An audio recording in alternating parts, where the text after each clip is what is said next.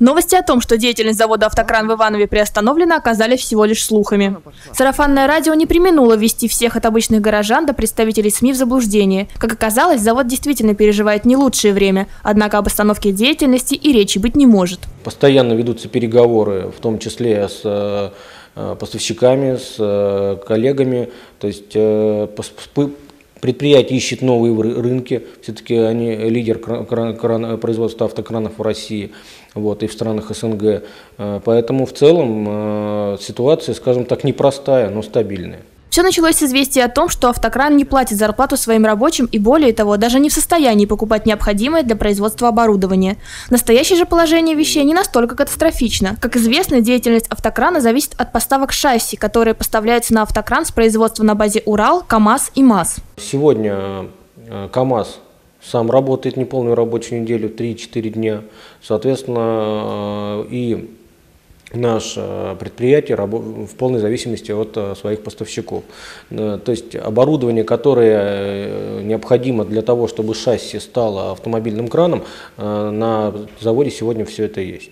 Достаточно сложная ситуация и с кредитованием. Предприятие находится в переговорном процессе с банками на предоставление денежных займов, но с автокранами все осложнено уже набившей всем оскомину темой санкций. Кредитные обязательства перед заводами в основном были зарубежные, отсюда и начались основные финансовые трудности. Когда э, в прошлом году сложилась ситуация с введением внешнеэкономических санкций, э, банку пришлось э, и группе пришлось срочно возвращать свои э, валютные обязательства и, соответственно, искать возможности погашения кредитов в российских банках. Вторым вопросом, который вызвал еще больше ажиотаж среди ивановцев, явилось положение рабочих завода.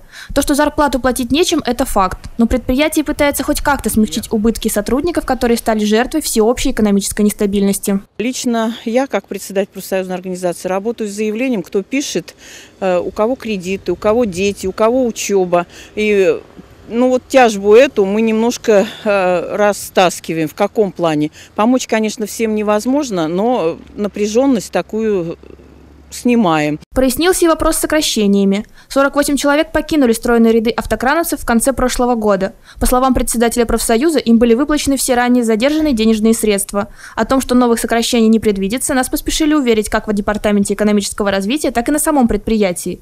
Администрация завода усиленно борется с вынужденными трудностями. Несмотря на сложную ситуацию, заводом принят очередной госзаказ на предоставление техники военным организациям. От военных организаций у завода автокранов я будь, не будь я, нас не будет, оно всегда будет, потому что мы никогда не уходили от госзаказа. Он у нас всегда есть, мы всегда работали на оборонку. Я очень горжусь, и я считаю, что мы еще сто лет проработаем.